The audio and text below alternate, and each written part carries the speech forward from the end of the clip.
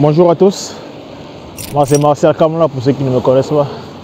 On se retrouve aujourd'hui pour euh, une nouvelle vidéo de marche bien sûr. Ok, donc euh, j'ai fait cette vidéo pour euh, répondre à un des commentaires qui m'a été posé par un abonné, à savoir si euh, un étudiant peut se prendre en charge de lui-même pour venir au Canada.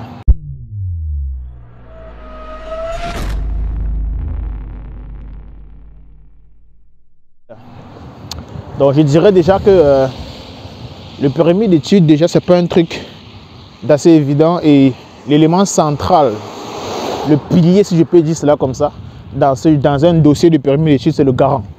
Vous voyez? C'est le garant. Donc, dis que tu vas te prendre en charge de toi-même pour venir ici, là, c'est pratiquement impossible que tu aies le visa. Parce que ça ne sera pas évident. Est-ce qu'à toi seul, est-ce que tu comptes en fait sur les sur l'argent que tu as déjà eu accumulé pour, euh, pour venir étudier ici et si tu comptes sur le, sal, le travail que tu as fait précédemment parce que j'ai dit, dit que c'est pratiquement impossible. Pourquoi? Parce que beaucoup de personnes pensent qu'ils vont arriver ici, ils vont travailler et payer au moins la pension pour leur première année. C'est pas possible. Ce sera pas possible de faire cela. Deuxième année encore, on peut comprendre, mais pas la première année. Il y a tellement de charges et l'agent d'immigration qui traitera, qui traitera votre dossier veut être rassuré, vraiment rassuré que vous n'aurez pas de problème côté financier quand vous allez arriver. Donc, lui faire comprendre que c'est vous-même qui allez payer votre école, qui allez euh, vous prendre en charge et tout, ça sera très compliqué pour lui de vous donner le visa, là, les amis. Donc, euh, mettez le garant.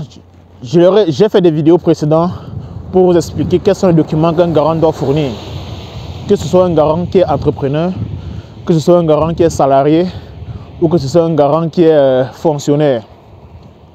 Les vidéos sont juste là, allez regarder cela et vous verrez les documents clairs que euh, ce garant doit pouvoir fournir dans votre dossier. De vous-même, vraiment, si vous le faites, on va dire c'est du TSC, si vous voulez jouer à la loterie. Quoi. Mais vous avez au moins 80% de chances d'avoir un refus que d'avoir une acceptation de visa. Si votre garant, c'est vous-même ce que je peux conseiller de faire, c'est de prendre votre ressource financière, l'argent que vous avez déjà eu accumulé, et essayer de, de jumeler cela, d'ajouter cela à la ressource financière du garant qui vous prendra en charge. Le garant ici peut être votre père, votre mère, ça peut être même un ami, ça peut être une connaissance. Et le garant peut vivre n'importe où, comme je dis souvent.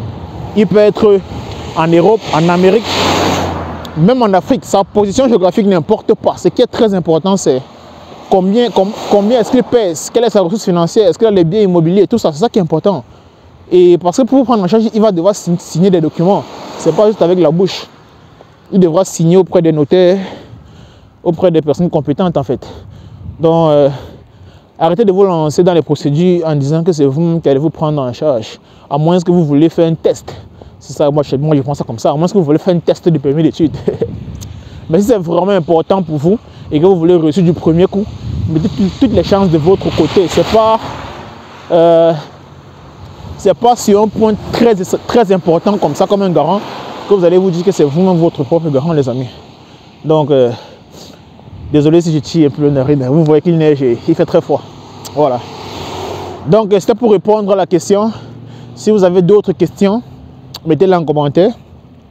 Je me ferai un plaisir de les répondre, toujours en vidéo comme ça. Et c'est ça. Si vous n'êtes pas déjà abonné à la chaîne, abonnez-vous. Surtout likez les vidéos. Ça fait toujours plaisir. Voilà. On se donne rendez-vous pour une prochaine vidéo.